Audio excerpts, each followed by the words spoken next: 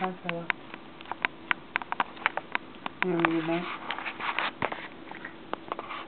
Yeah, I thought so. Mom doesn't know what she's talking about when she says, if I don't take good care of you, we're gonna scare you to death. You did scare him to death. You seem pretty happy with me. He's happy now We're pretty close. mm. We're tight. no. That's a full glass of the water.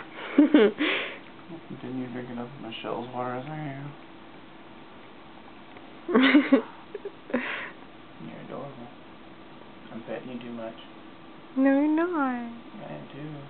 You're gonna have fleas, and it's gonna be all Michelle's fault. Hmm? Michelle, why are you giving me fleas? Oh, I got fleas. I don't want. oh, poor thing. I'm sorry, kid.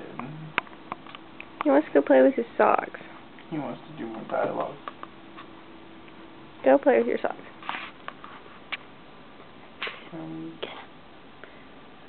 Uh, this is what I was trying to record because I thought it was really cute. Uh, he's going downstairs.